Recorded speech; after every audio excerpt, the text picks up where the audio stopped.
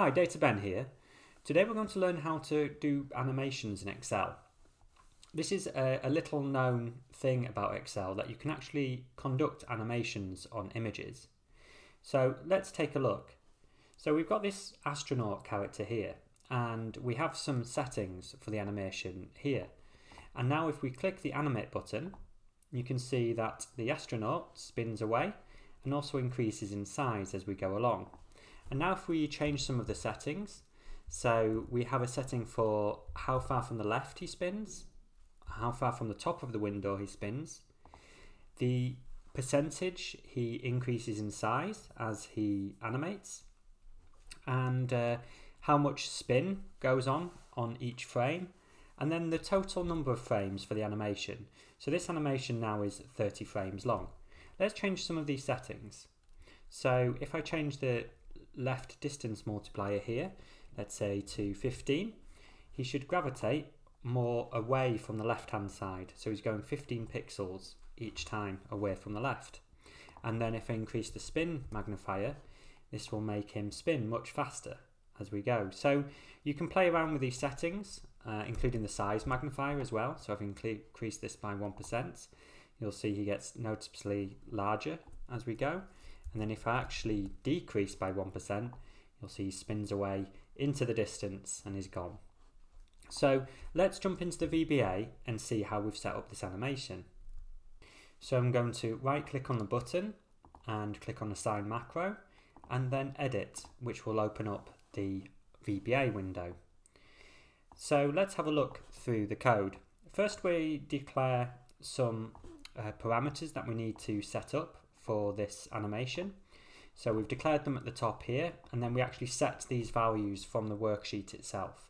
So first we have the repeat count as zero, and then we set t to be a timer, so we can actually get the total time of the animation as well. And then we start to feed in the values that we've got in the worksheet from column K. So you'll see in column K, so K3 we have the value 15, K4 we have the value 5 and so on.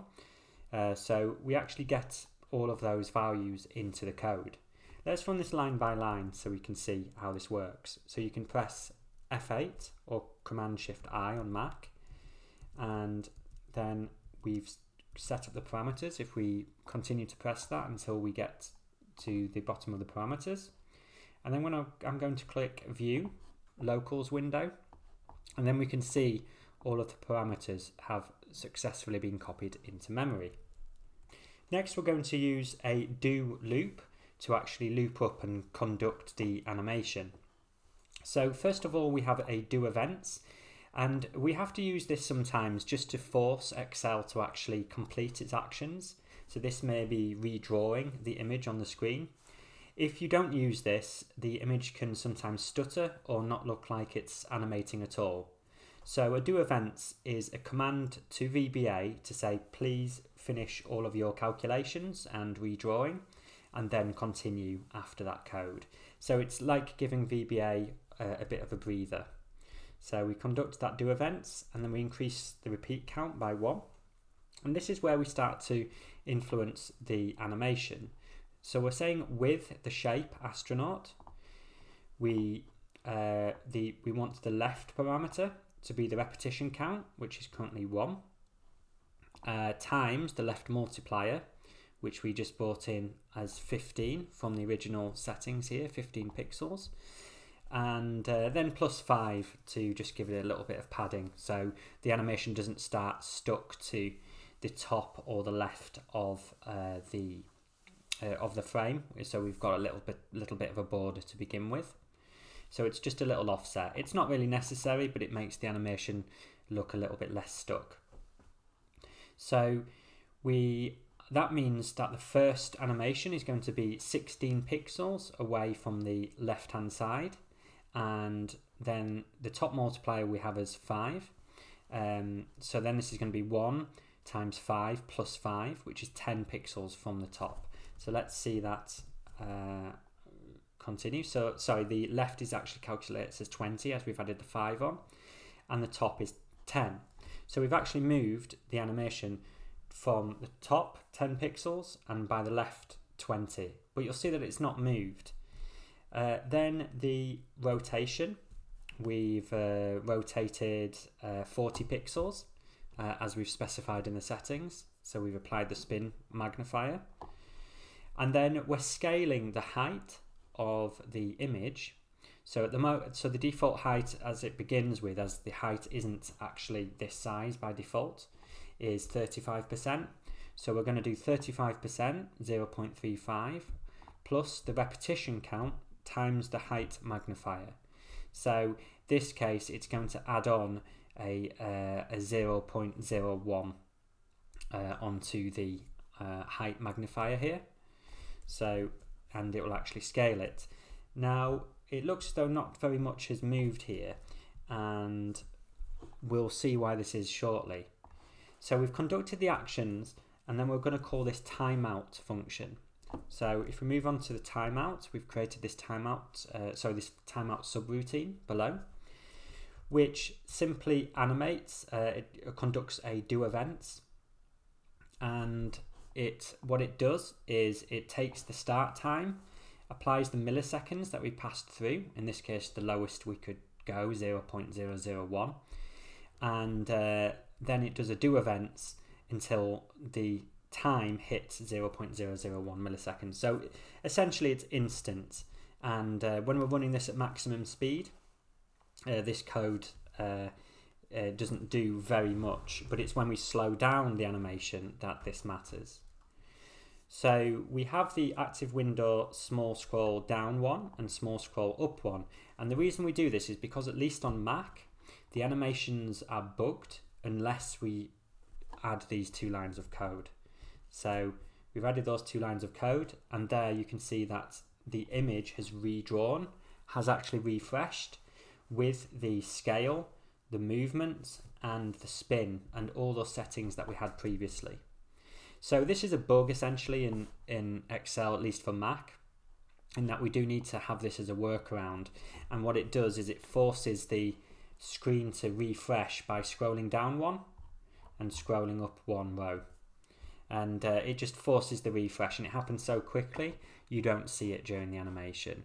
So it's, it's a bit of a bug fix, uh, but just be aware that if you are running this code on Mac, like I'm doing, then you will have to do, do this. So now it's going to loop again. So we've done the first frame and then it's going to do a, a do events and then it's going to uh, continue up uh, with the next settings here. So it's going to rotate a little bit more, it's going to move to the left a little bit more and do this timeout uh, again. So we can see here that when we uh, animate that it's moved to the next frame. So we're on the second frame and we're going through this so slowly manually that it's very difficult to see the animation.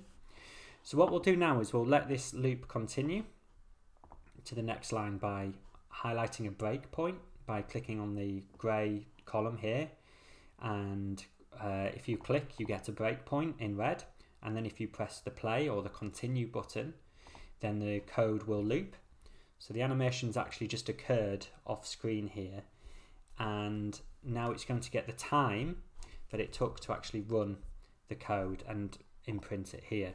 Now the reason it says 389 seconds here is because that's how long I've been talking as we've been going through the code. And then it's going to reset as the last section of code. It's going to reset the astronaut to its original settings. But you'll see there until the active window small scroll happens, it doesn't visually update. So we've changed the settings on the astronaut back to the original settings, but nothing changes until we force the animation here. And there we force the animation and that's now gone back to the start. And then the subroutine ends. So that's the full VBA code for the animation. Uh, let's again see how that looks. So if we want to uh, increase how far down the astronaut goes, we want to maybe change the top distance a little bit, remove the left distance, and I'm expecting him to shoot downwards when I click animate, which he does. And maybe we want to extend the length of the animation, so we'll double the frames to 60 frames. We'll slow his spin down, maybe to a very slow spin, and uh, we'll also reduce the top distance multiplier as well so he stays on the screen and there you go you've got a very slow and longer animation going on there So you can adjust these settings and I'll make this workbook available. And once you adjust these settings, you'll uh, be able to play around with this and step through the code step by step yourself. Have you got any cool ideas of how you could use animations in Excel via VBA? Let's just do one final uh, animation to finish off here. Let's uh, ping the astronaut off into the distance and uh, make him reduce in size and then have him spin very fast, maybe for uh, 100 frames. Let's see how that goes. See you later, dude.